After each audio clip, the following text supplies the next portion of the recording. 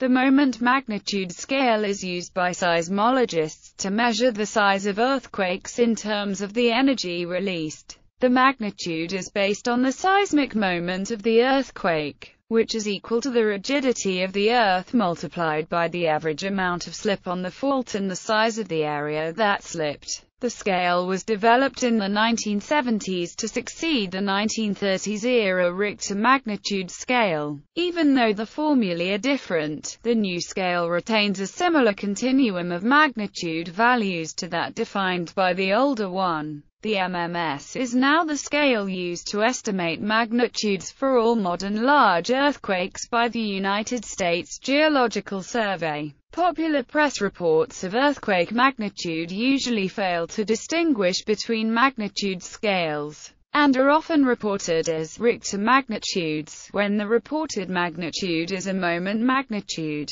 Because the scales are intended to report the same results within their applicable conditions, the confusion is minor. Historical context the Richter scale, a former measure of earthquake magnitude in 1935. Charles Richter and Benno Gutenberg developed the local magnitude with the goal of quantifying medium-sized earthquakes in Southern California. This scale was based on the ground motion measured by a particular type of seismometer at a distance of 100 kilometers from the earthquake's epicenter. Because of this, there is an upper limit on the highest measurable magnitude, and all large earthquakes will tend to have a local magnitude of around 7. Further, the magnitude becomes unreliable for measurements taken at a distance of more than about 600 kilometers from the epicenter. Since this ML scale was simple to use and corresponded well with the damage which was observed, it was extremely useful for engineering earthquake-resistant structures, and gained common acceptance.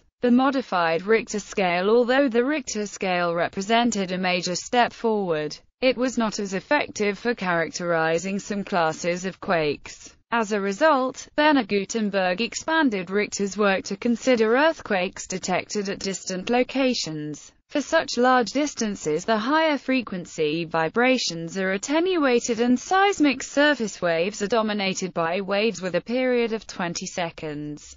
Their magnitude was assigned a surface wave magnitude scale. Gutenberg also combined compressional P waves and the transverse S waves to create a body wave magnitude scale, measured for periods between 1 and 10 seconds. Ultimately Gutenberg and Richter collaborated to produce a combined scale which was able to estimate the energy released by an earthquake in terms of Gutenberg's surface wave magnitude scale, correcting weaknesses of the modified Richter scale. The Richter scale, as modified, was successfully applied to characterize localities. This enabled local building codes to establish standards for buildings which were earthquake resistant.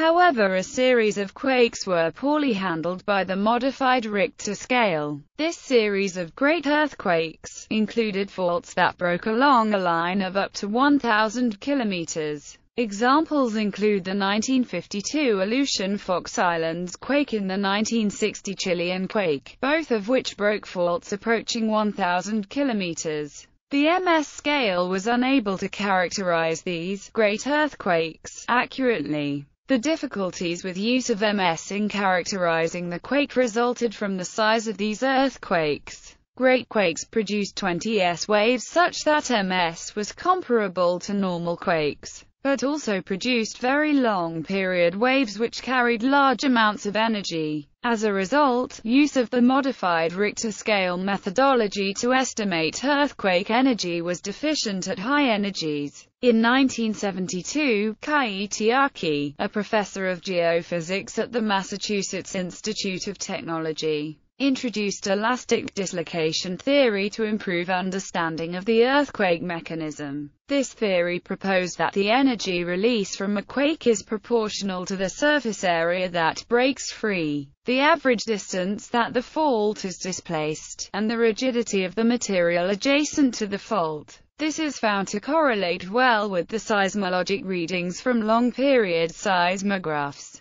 Hence the moment magnitude scale represented a major step forward in characterizing earthquakes. Current research Recent research related to the moment magnitude scale focuses on timely earthquake magnitude estimates allow for early warnings of earthquakes and tsunami. Such earthquake early warning systems are operating in Japan, Mexico, Romania, Taiwan, and Turkey and are being tested in the United States, Europe, and Asia. Such systems rely on a variety of analytic methods to attain an early estimate of the moment magnitude of a quake. Efforts are underway to extend the moment magnitude scale accuracy for high frequencies, which are important in localizing small quakes. Earthquakes below magnitude 3 scale poorly because the Earth attenuates high-frequency waves near the surface, making it difficult to resolve quakes smaller than 100 meters.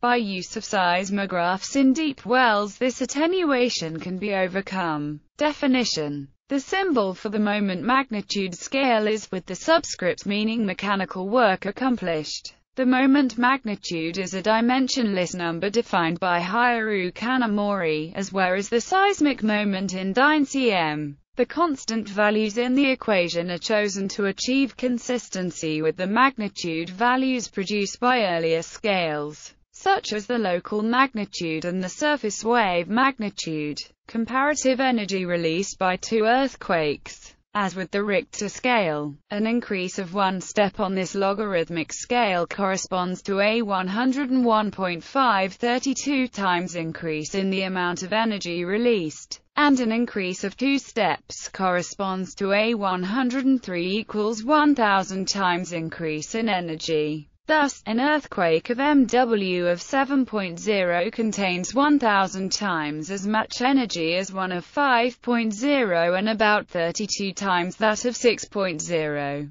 The following formula, obtained by solving the previous equation for, allows one to assess the proportional difference in energy release between earthquakes of two different moment magnitudes, for example, an earthquake with a moment magnitude of 7.0 is approximately 5.62 times greater than a quake with moment magnitude 6.5. Radiated seismic energy. Potential energy is stored in the crust in the form of built-up stress. During an earthquake, this stored energy is transformed and results in cracks and deformation in rocks. Heat. Radiated seismic energy. The seismic moment is a measure of the total amount of energy that is transformed during an earthquake. Only a small fraction of the seismic moment is converted into radiated seismic energy, which is what seismographs register. Using the estimate Choy and Boatwright to find in 1995 the energy magnitude whereas in NM, nuclear explosions, the energy released by nuclear weapons is traditionally expressed in terms of the energy stored in a kiloton or megaton of the conventional explosive, trinitrotoluene. A rule of thumb equivalence from seismology used in the study of nuclear proliferation asserts that a 1 kiloton nuclear explosion creates a seismic signal with a magnitude of approximately 4.0. This in turn leads to the equation whereas the mass of the explosive TNT that is quoted for comparison. Such comparison figures are not very meaningful, as with earthquakes, during an underground explosion of a nuclear weapon. Only a small fraction of the total amount of energy released ends up being radiated as seismic waves. Therefore, a seismic efficiency needs to be chosen for the bomb that is being quoted in this comparison, using the conventional specific energy of TNT. The above formula implies that about 0.5% of the bomb's energy is converted into radiated seismic energy. For real underground nuclear tests, the actual seismic efficiency achieved varies significantly and depends on the site and design parameters of the test. Comparison with Richter scale. The moment magnitude while maintaining consistency. Thus, for medium-sized earthquakes, the moment magnitude values should be similar to Richter values. That is, a magnitude 5.0 earthquake will be about a 5.0 on both scales. This scale was based on the physical properties of the earthquake, specifically the seismic moment. Rather, magnitude scales are used to estimate with one number the size of the quake. The following table compares magnitudes towards the upper end of the Richter scale for major Californian earthquakes.